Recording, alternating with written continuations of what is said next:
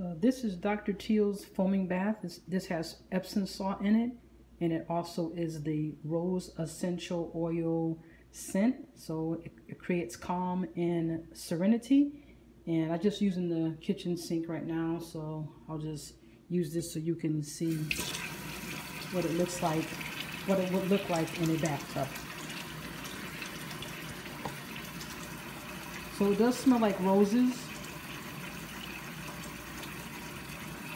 I'm just going to pour some in here.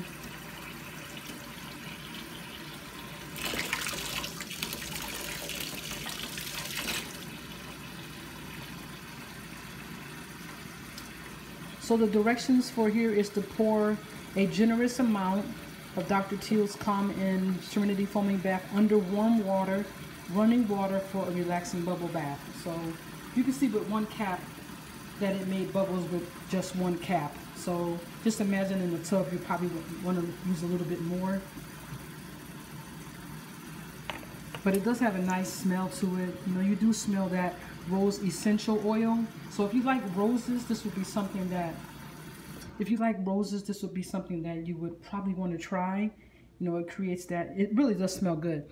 I mean, it smells, it smells really nice. It has a real, it has a real nice scent to it.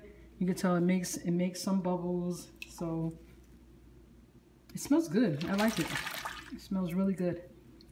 So if, if you like something, you know, like roses, then this would be something that you can try and you put it right in your bath. It's a foaming bath and it does have pure Epsom salt to help you relax. All right, so it does have, it says, let me just show you what it says on the bottle.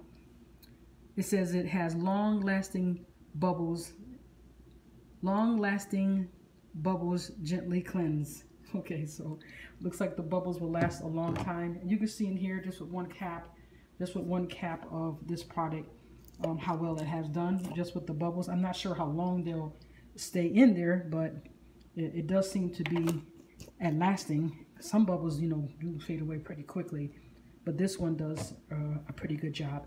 Again this is Dr. Teal's foaming bath and this one is with rose essential oil.